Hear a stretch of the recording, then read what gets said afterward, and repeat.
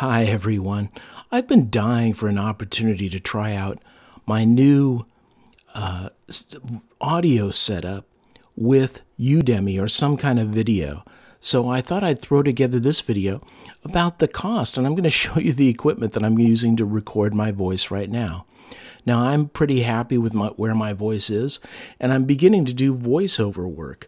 Well, that's not true. I'm doing voiceover auditions, auditions, and we'll talk about the results at the end. But what I wanted to talk about is the initial cost of getting into voiceover work and whether it's worth it. So let's uh, go through my equipment. Rather than doing an analysis of the equipment that's out there, I thought I would just show you what I'm using. I picked it because I thought it was the best, and I'm going to show you what I've got. Now, we're going to go through here in talking about what it takes to be a voiceover artist. And the first is your voice, the next is some audio equipment, and then some audio recording and editing software. Next, you have to, at least I am doing a pay for play subscription where I get audio jobs forwarded my way but I have to pay to get them. And I'm going to show you how that works. And finally, I want to talk about some environmental considerations that you might want to consider before ever setting up your audio environment. So that's those are the magic ingredients to doing voiceover work. And first, I'd like to begin with your voice because this is the most exciting part. Your voice is free and any voice will do. So there are no special requirements. If you don't think you have a good voice, maybe you have a strange voice. A strange voice can actually make money. So don't eliminate this possibility of making money online just because you're not happy with your voice. Nobody's happy with their voice. I don't like listening to my voice when it's recorded either. The next thing I want to talk about is the audio equipment. This is where most of the expense is going to come up. And I'm going to show you all of the audio equipment that I've got to do recordings for both Udemy recordings and for voiceover work. First, it begins with my Blue Yeti microphone. This, I just think, is the workhorse of the recording industry. And it comes, in my case, when I bought it, with a pair of JVC headphones. Tascams are just fine. Get yourself some good headphones. I then added a newer microphone or a Neewer microphone arm and a special Blue Radius 2 shock mount. This is a huge shock mount because the Blue Yeti is very large and it needs a special shock mount. And then I just barely stuffed it, this whole apparatus, into a chaotic uh, eyeball, which gives me a very silent, portable recording studio, and I'm going to show you how all of this works. Let's begin by looking at it all together. Here you can see the Neewer arm coming in from the left. I didn't think it would be strong enough to hold all this stuff. It is, and out from it comes the, the Blue Radius 2 shock mount arm, uh, holder for the microphone, which is the Blue Yeti in the middle there. And then on the, the big ball on top is the sound suppression system called a chaotic eyeball. So let's begin by looking at the Blue Yeti microphone, which costs me $139 on Amazon, and it came with JVC headphones and actually a pop filter. But I ended up not using the pop filter because the Kaotica eyeball that I'm going to recommend has one built in. This is kind of the top of the line for blue microphones, and I like blue microphones. So I believe it's the best general purpose USB microphone available for the PC. And various people seem to agree. It's huge, by the way. It's a gigantic microphone. So that has its own problems. Now you can see it comes with this base where this is the way I used to use it. So I paid $139 and used it just the way you're seeing it now with a pop filter and sitting on the desk in front of me. I had to move the keyboard off to the side, which makes typing really awkward. And then I plugged the headphones in. You can see there's a little headphone jack right in the microphone so you don't get any of the delay that Windows has uh, for processing your voice. And everything works great. Now, this is the tube that you see below the big Kaotica eye in the middle of this bungee corded, weird um, mechanical apparatus.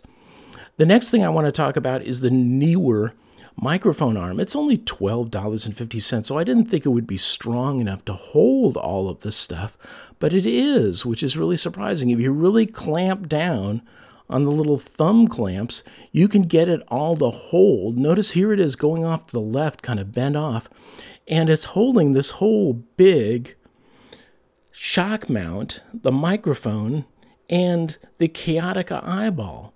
So next I want to talk about what is this shock mount I keep talking about. Check this thing out. It's gigantic. And the way that it works is that your gigantic Blue Yeti microphone screws onto the metal ring on that little plate you see in the middle. And so it's attached to this metal ring in the middle, which is attached to the outer ring by bungee cords which actually attaches to your Neewer arm. So what it does is it, via the bungee cords, it removes all vibration. And I've got a problem with vibration. I'm going to talk about that in just a little bit.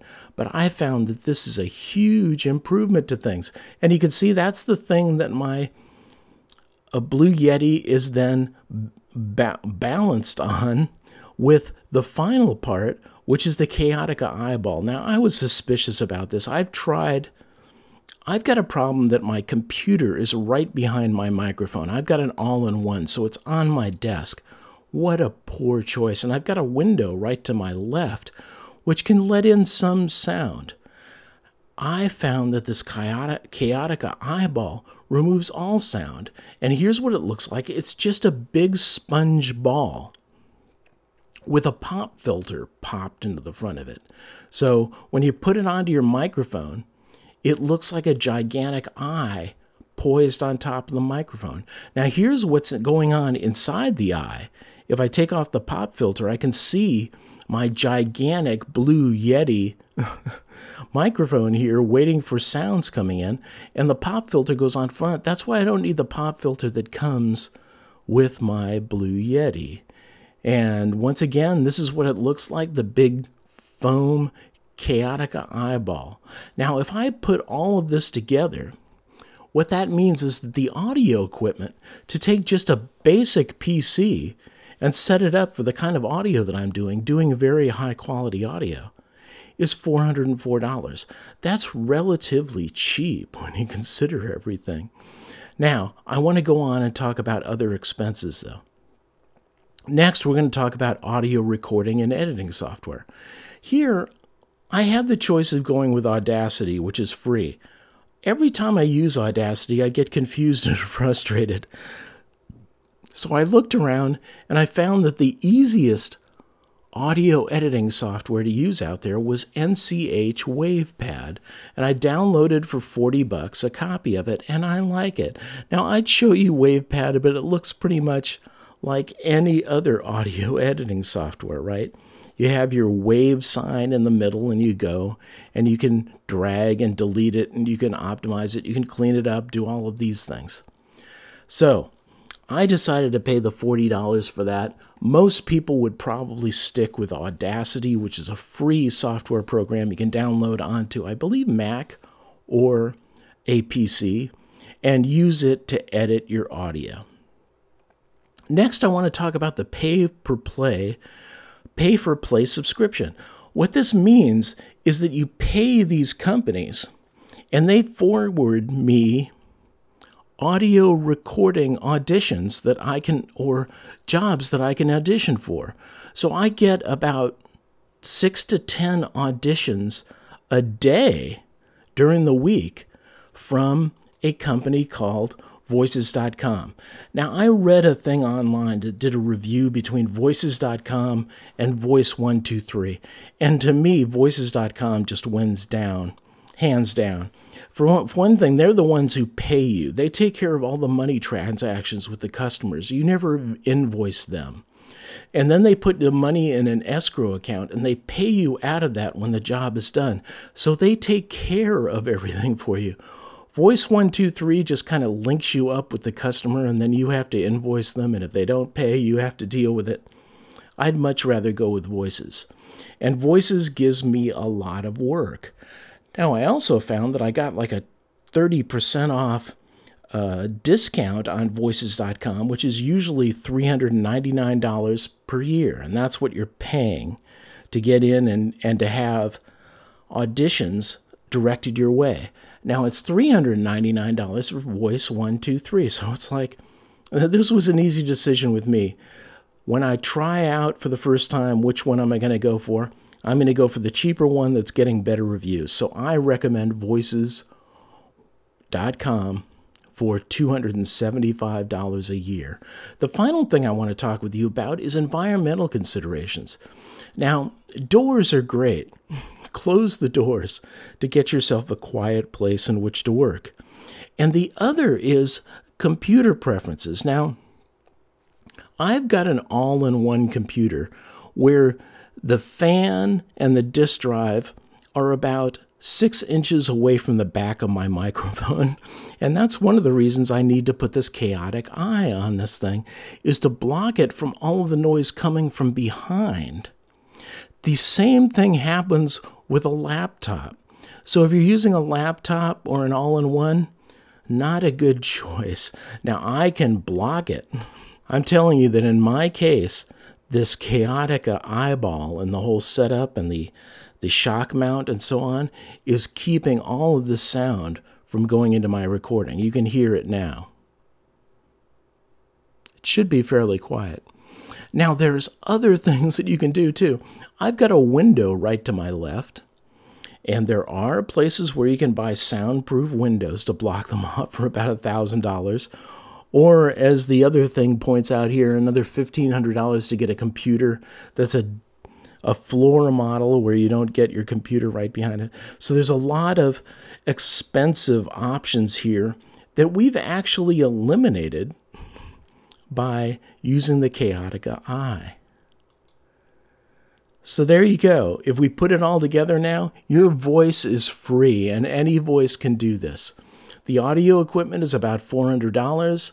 I paid for some audio software, $40, and the pay for play subscription is $275. So you're talking about a little over $700 to get into voiceover work. And the results so far for me, I've reviewed 90 jobs. I've auditioned for 47 of them. 22 of my auditions have been viewed, one has been liked, and I have been awarded no jobs. so far, I have made no money at voiceover work. So, what's up next? The first job. I'm going to post again when I get my first voiceover job via, via voices.com using the equipment I've described. I'll see you in that lecture and I'll be very excited.